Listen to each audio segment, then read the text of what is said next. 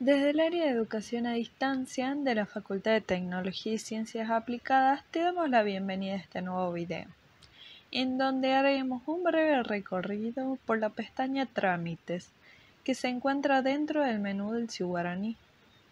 Lo primero que haremos es acceder al sistema como alumno, y una vez dentro iremos a Trámites. Haciendo clic en esta opción se despliega el siguiente submenú en este video veremos algunas de las opciones más importantes. Comenzaremos por mis datos personales.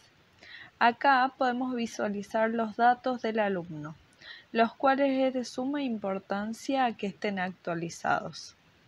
Se ve a la izquierda en la pantalla un cuadro con diferentes accesos a pestañas a completar. Si se desea modificar o actualizar los datos, los cambiamos, damos clic en guardar y por último confirmar. Y los datos serán actualizados. Volvemos al submenú y seguiremos por solicitar constancias y certificados.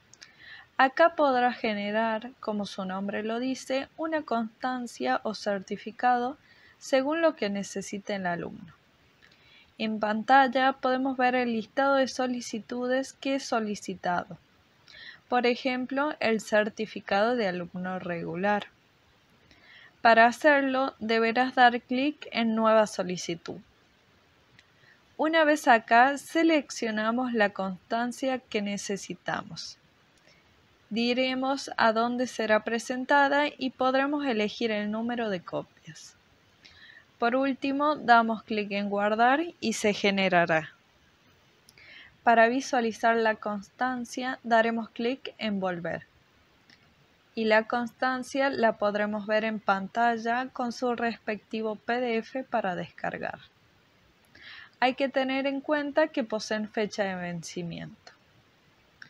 Luego, si volvemos al submenú, podemos ver preinscripción a propuestas, con esta operación podrás preinscribirte a otras propuestas formativas ofrecidas por la institución.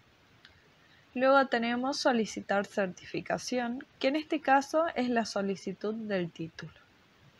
Y los demás submenús pueden ser consultados fácilmente en caso de que la unidad académica utilice dichas funcionalidades y en la medida que el estudiante lo necesite como ser la convocatoria a becas, orientación, reasignar optativa y descargar analítico y diploma digital.